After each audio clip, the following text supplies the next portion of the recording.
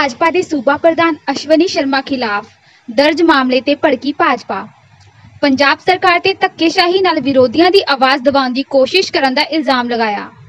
ਸੂਬਾ ਪ੍ਰਧਾਨ ਦੇ ਮਾਮਲਾ ਦਰਜ ਕਰਕੇ ਜਨਤਾ ਦੀ ਆਵਾਜ਼ ਨੂੰ ਦਬਾ ਨਹੀਂ ਸਕਦੀ ਸਰਕਾਰ। ਸਰਕਾਰ ਵਿਰੋਧੀ ਸੰਘਰਸ਼ ਨੂੰ ਹੋਰ ਤਿੱਖਾ ਕਰੇਗੀ ਭਾਜਪਾ। ਭਾਰਤੀ ਜਨਤਾ ਪਾਰਟੀ ਦੇ ਆਗੂਆਂ ਨੇ ਇਲਜ਼ਾਮ ਲਗਾਇਆ ਹੈ ਕਿ ਪੰਜਾਬ ਦੇ ਮੁੱਖ ਮੰਤਰੀ ਕੈਪਟਨ ਅਮਰਿੰਦਰ ਸਿੰਘ ਵੱਲੋਂ ਵਿਰੋਧੀ ਪਾਰਟੀਆਂ ਦੀ ਆਵਾਜ਼ ਨੂੰ ਦਬਾਉਣ ਲਈ ਭਾਜਪਾ ਦੇ ਸੂਬਾ ਪ੍ਰਧਾਨ ਅਸ਼ਵਨੀ ਸ਼ਰਮਾ ਉੱਪਰ ਮਾਮਲਾ ਦਰਜ ਕੀਤਾ ਗਿਆ ਹੈ।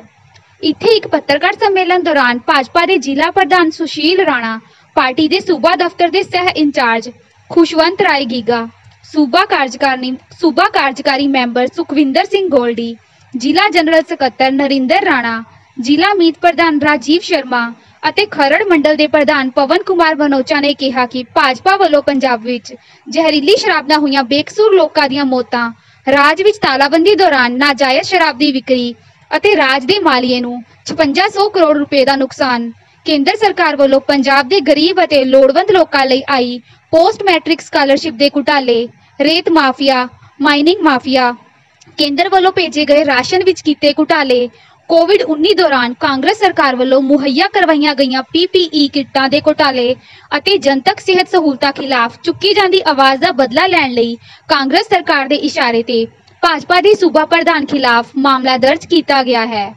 ਉਹਨਾਂ ਕਿਹਾ ਜਿਹੜਾ ਪ੍ਰੋਗਰਾਮ ਹੈ, ਉਹ ਸਰਕਾਰ ਦੀਆਂ ਵਦਨੀਤੀਆਂ ਨੂੰ ਲੋਕਾਂ ਦੇ ਤੱਕ ਪਹੁੰਚਾਉਣ ਵਾਸਤੇ ਪੰਜਾਬ ਦੀ ਜਨਤਾ ਨੂੰ ਅੱਜ ਅਸੀਂ ਸੁਨੇਹਾ ਦੇਣ ਲੱਗੇ ਹਾਂ ਇਸ ਪ੍ਰੈਸ ਦੇ ਰਾਹੀਂ ਕਿ ਜੋ ਪੰਜਾਬ ਦੇ ਅੰਦਰ ਹੋ ਰਿਹਾ ਹੈ, ਗਲਤ ਕੰਮ ਹੋ ਰਿਹਾ, ਭਾਵੇਂ ਉਹ ਸ਼ਰਾਬ ਮਾਫੀਆ ਦਾ ਕੰਮ ਹੋਵੇ, ਅੱਜ ਮੈਂ ਮੈਂ ਦੇਖ ਰਿਹਾ ਉਹਦੇ ਖਰੜ ਦੇ ਅੰਦਰ, ਐਡਾ ਵੱਡਾ ਕਾਂਡ ਤਰਨਤਾਰਨ ਦੇ ਅੰਦਰ ਹੋ ਗਿਆ, ਪੰਜਾਬ ਦੇ ਅੰਦਰ ਹੋ ਗਿਆ, ਇੰਨੇ ਬੰਦੇ ਸਾਡੇ ਮਰ ਗਏ, ਹਲੇ ਤੱਕ ਵੀ ਸਰਕਾਰ ਨੇ ਕੋਈ ਸਬਕ ਨਹੀਂ ਲਿਆ।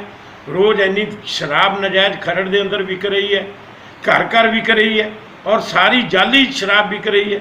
ਮੈਂ ਫੋਟੋਆਂ ਵੀ ਇਹਨਾਂ ਨੂੰ ਭੇਜੀਆਂ ਸ਼ਰਾਬੀਆਂ ਦੀਆਂ ਗਿਰਿਆਵਿਆਂ ਦੀਆਂ ਔਰ ਮੈਨੂੰ ਪਤਾ ਲੱਗਿਆ ਵੀ ਸ਼ਰਾਬ ਵੇਚਦਿਆਂ ਦੀਆਂ ਵੀ ਫੋਟੋਆਂ ਜਿਹੜੀਆਂ ਹੈ ਉਹ ਪ੍ਰਸ਼ਾਸਨ ਤੱਕ ਪੁਲਿਸ ਤੱਕ ਪਹੁੰਚੀਆਂ।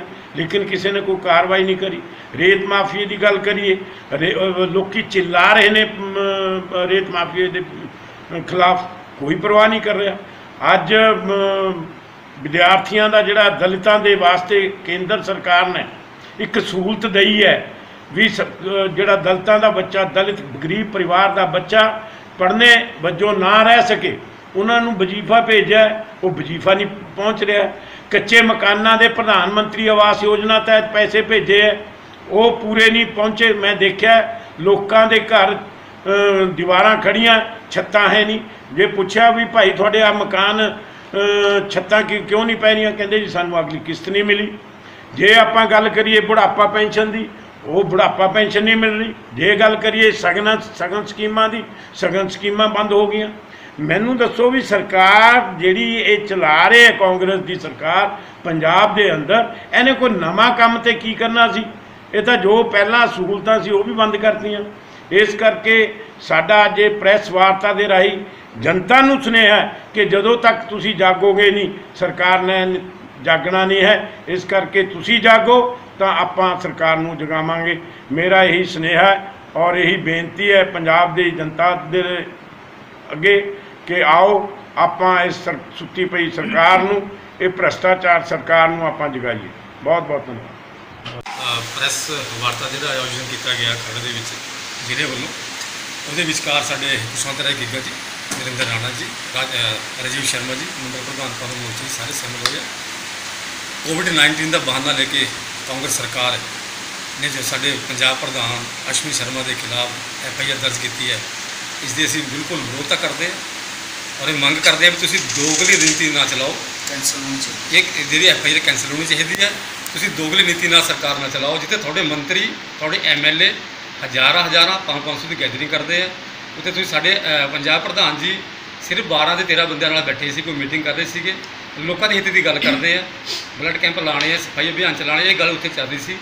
ਇਸ ਕਰਕੇ ਅਸੀਂ ਲੋਕ ਹਿੱਤ ਦੀ ਗੱਲ ਕਰਨ ਕਰਕੇ ਸਾਡੀ ਜਿਹੜੀ ਹੈ ਬਦਲੇ ਦੀ ਭਾਵਨਾ ਨਾਲ ਜਿਹੜਾ ਇਹ ਵਿਰੋਧੀਆਂ ਤੇ ਅਮਰਿੰਦਰ ਸਰਕਾਰ ਜਿਹੜੀ ਉਹ ਕਾਰਵਾਈ ਕਰ ਰਹੀ ਹੈ ਅਸੀਂ ਬਿਲਕੁਲ ਇਹਦੀ ਨਿੰਦਾ ਕਰਦੇ ਹਾਂ ਔਰ ਇੱਥੇ ਮੈਂ ਗੱਲ ਕਰਨੀ ਚਾਹਾਂਗਾ, ਸਰਕਾਰ ਦਾ ਫਰਜ਼ ਬਣਦਾ ਹੈ ਪੰਜਾਬ ਸਰਕਾਰ ਦਾ ਇਹ ਫਰਜ਼ ਬਣਦਾ ਵੀ ਲੋਕਾਂ ਨੂੰ ਅਸੀਂ ਕੋਵਿਡ 19 ਜਿਹੜੀ ਮਹਾਮਾਰੀ ਚੱਲ ਰਹੀ ਹੈ ਇਹਦੇ ਵਿੱਚ ਕੋਈ ਸਹੂਲਤ ਦਈਏ ਇਹਨਾਂ ਨੇ ਕੋਈ ਪਬਲਿਕ ਸਹੂਲਤ ਨਹੀਂ ਦਿੱਤੀ ਕਿਸੇ ਤਰ੍ਹਾਂ ਦੀ ਉਲਟਾ ਜੇ ਸਾਡੀ ਪਾਰਟੀ ਇਹ ਕੰਮ ਕਰ ਰਹੀ ਲੋਕਾਂ ਵਾਸਤੇ ਤੇ ਇਹ ਰੋਕ ਰਹੀ ਸਾਨੂੰ।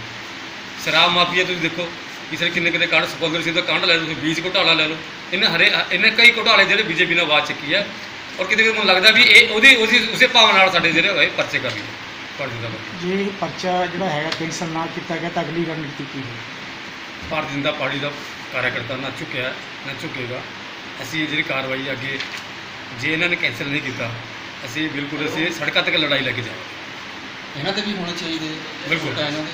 ਧੰਨਵਾਦ। ਰੋ ਸਾਡੇ ਤੇ ਅਸੀਂ ਰੁਕਦੇ ਨਹੀਂ ਹਾਂ। ਉਹਨਾਂ ਤੇ ਵੀ ਕਰੋ ਬਰਾਬਰ। ਖਰਚੇ ਅਸੀਂ ਉਹਨਾਂ ਮੰਨ ਦਾ ਪ੍ਰਦੇਸ਼ ਅਧਿਕਸ਼ 5-500 ਬੰਦੇ ਦੀ ਗੈਦਰਿੰਗ ਕਰਦਾ ਹੈ ਹਜ਼ਾਰ ਹਜ਼ਾਰ ਕਾਨੂੰਨ ਮੈਂ ਕਹੋ ਬਰਾਬਰ ਹੋਣਾ ਉਹਨਾਂ ਤੇ ਵੀ ਚਾਹੀਦਾ ਕਾਨੂੰਨ ਸਭ ਦੇ ਲਈ ਬਰਾਬਰ ਹੋਣਾ ਚਾਹੀਦਾ। ਆਗੂਆਂ ਨੇ ਕਿਹਾ ਕਿ ਕੈਪਟਨ ਸਰਕਾਰ ਦੀ ਇਹ ਕਾਰਵਾਈ ਭਾਜਪਾ ਵਰਕਰਾਂ ਨੂੰ ਨਹੀਂ ਰੋਕ ਸਕਦੀ ਅਤੇ ਭਾਜਪਾ ਵੱਲੋਂ ਸਰਕਾਰ ਵਿਰੁੱਧ ਸੰਘਰਸ਼ ਜਾਰੀ ਰਹੇਗਾ। ਖਰੜ ਤੋਂ ਸਕਾਈ ਹਾਕ ਟਾਈਮਜ਼ ਲਈ ਸ਼ਮਿੰਦਰ ਸਿੰਘ ਦੀ ਰਿਪੋਰਟ।